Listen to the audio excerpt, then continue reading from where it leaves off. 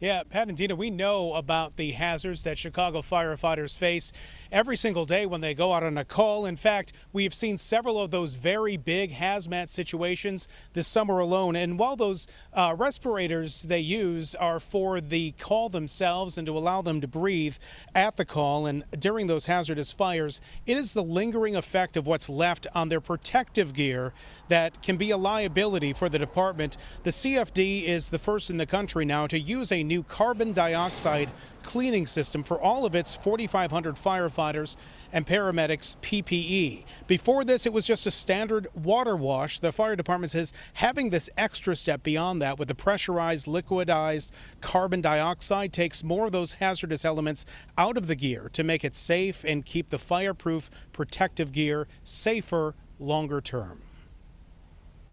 This new cleaning technology restores the retro reflectability of some reflective trim. It uses less energy and doesn't use water. This doesn't replace what we currently do in this facility and our other facilities around the country.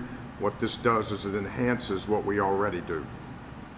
Nothing's more important to our company uh, that we protect the people that protect us each and every day. In the United States, firefighters have a 14% higher death rate from cancer than a typical American. They're saying that taking these chemicals out of that gear that they use on calls every single day will help lower that uh, that number. Of course, there is a bigger cost associated with this new step in the cleaning process. We've asked about that. We'll break it down and what it means for the Chicago Fire Department budget coming up in the news starting at 4 o'clock. For now, we are live on the southwest side. Sean Lewis, WGN News.